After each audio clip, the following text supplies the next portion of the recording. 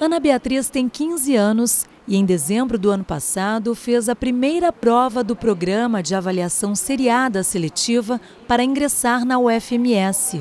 Foram 60 questões em quatro áreas de competência. Ela fez questão de conferir o gabarito e o resultado assim que foram divulgados ainda ontem à noite. Das 60 questões, eu acertei 39, então foi mais da metade. Então fiquei mais ou menos na média, né, que era o esperado. E eu acho que tá bom, fui bem. Já Bianca só verificou seu desempenho hoje à tarde. A adolescente de 16 anos já fez duas provas do passe e no fim deste ano fará a terceira e última. Eu considero mais fácil, porque o conteúdo é reduzido ao que você estudou no ano e é um pouquinho é menos pesado. Em 2018, 2.093 estudantes se inscreveram para o passe. A desistência foi de 19,5% em relação ao ano anterior, quando 2.601 pessoas se propuseram a fazer a prova.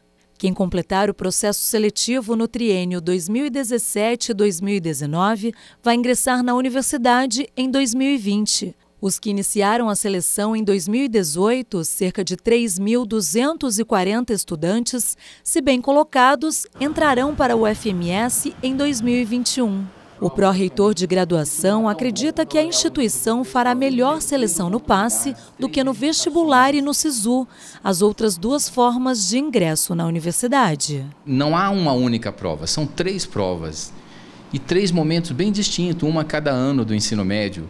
Então o aluno vem mais tranquilo para fazer essa prova, ele vai é, é, é, essa avaliação vai acompanhando o crescimento dele ao longo do ensino médio. Rui Correa Filho admite que esperava uma adesão maior no segundo ano de aplicação do passe e diz que é preciso que as escolas estimulem os alunos a participar. Nós acreditamos que as escolas ainda não estão procurando é, saber um pouco mais sobre o programa de avaliação seriado seletivo, sobre o passe e ainda não reconhece como um processo seletivo interessante, mas é extremamente interessante porque, primeiro, vai preparando o aluno para ingressar na instituição, vai preparando o aluno mesmo para o próprio Enem ou para o próprio vestibular e é mais uma forma de ingresso. Né? A escolha do curso aqui na instituição só precisa ser feita no ato da inscrição para a última prova do triênio.